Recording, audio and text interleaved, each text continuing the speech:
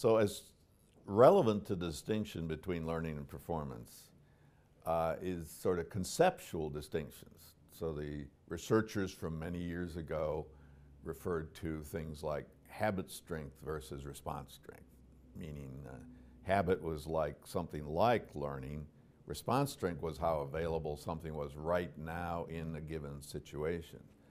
So we sort of resurrected that distinction in a framework we call the new theory of disuse in terms of the distinction between what we call storage strength, which is like habit strength, and retrieval strength, which is an index of the current accessibility or activation of something right now at this point in time in the presence of these cues.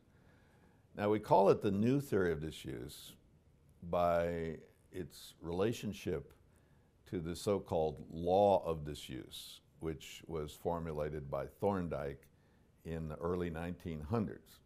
And that was the dominant view of forgetting until work on interference processes sort of demolished it. That's the basic notion that without continued access and use, memories of, for information, for procedures, uh, are lost, uh, like a decay. And to this day, I think the average person would uh, tend to think that forgetting is something like that. But then the research showed no, they're not lost, they become inaccessible. And the new theory disuse is sort of captures that idea, namely that rather than disuse causing things to decay, disuse leads to things becoming inaccessible, but that they remain in memory. So this is crucial in terms of how human memory works because we're characterized by this remarkable capacity for storage of information. Various ways of trying to estimate how much we can have in our long-term memory come up with such large numbers that you might as well just assume there is no limit.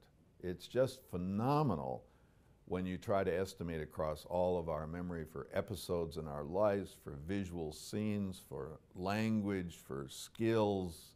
Uh, it becomes so huge that we might as well just assume there's something close to uh, unlimited capacity on the storage side. But then as we're all aware, there's some severe limits on the retrieval side. That is, we all have these experiences where we can't recall things we know that are in memory and that we can recall at other times, we can recall when we're back in situations.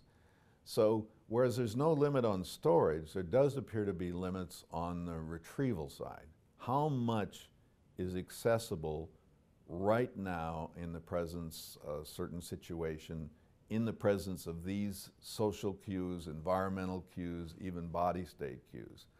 They select out what information is available and recallable of all this vast amount that's in our long-term memories. So that distinction is very crucial between what we call storage strength, which is kind of a measure of how interconnected or entrenched information is, how related it is to everything else that's in our memories, and retrieval strength, which is how accessible is it right now? And retrieval strength completely determines whether something can be recalled. But storage strength determines how quickly retrieval strength is lost or how quickly it's regained. And that's what's new in the theory is the assumptions about how retrieval strength and storage strength interrelate, not the basic distinction. And probably the most unintuitive part of it and the most important part is that the higher the current retrieval strength, the smaller the gains in storage strength that result from additional study or practice. This is quite unintuitive, but these effects are very large. Namely, if something's very, very accessible right now, uh, virtually no learning can happen. It can be presented again, you could recall it, nothing, no additional increase in storage will happen. But as we forget in the sense of losing retrieval strength, Then when things are presented, we get a larger increase in storage strength. So said in, you know, this is, this is unintuitive and said in a way that's most surprising to most people, forgetting rather than undoing learning creates the opportunity to reach additional levels of learning. So as I space, I let time go by from a first study opportunity, retrieval strength will decrease, and if I test people, they'll be poorer. But if I represent the information, I'll get a larger boost and then be better in the long term. If I change the context. Years ago, we had people study things twice, either in the same room, three hours apart, or in a different room, three hours apart. And then three hours later, we had them try to recall that in a still different room. And when they studied in two different places, they recalled more than when they studied in the same place. But if you test people in a different room, you tend to find that they are somewhat more forgetting than if you test them in the same room. So, so the, the important emphasis here is that forgetting which people may tend to think, well, I, I would say a, a, normal characterization is as I learn, I build up something in memory. As I forget, I lose some of what I built up. It does not work that way. As you forget, you create the potential to reach a new higher level of learning.